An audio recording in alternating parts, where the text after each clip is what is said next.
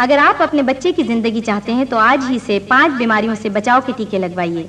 ये बीमारियाँ हैं, रिश्वत, चर्स, हेरोइन, बेईमानी और खुशामद। सच्चा पाकिस्तानी बनने के लिए इन बीमारियों के टीके बचपन ही में लगवा लें, क्योंकि यहाँ तशन्नुद से इंसान बच सकता है, मगर रिश्वत से नहीं। सरकारी और नीम सरकारी इदारों से परहेज कीजिए।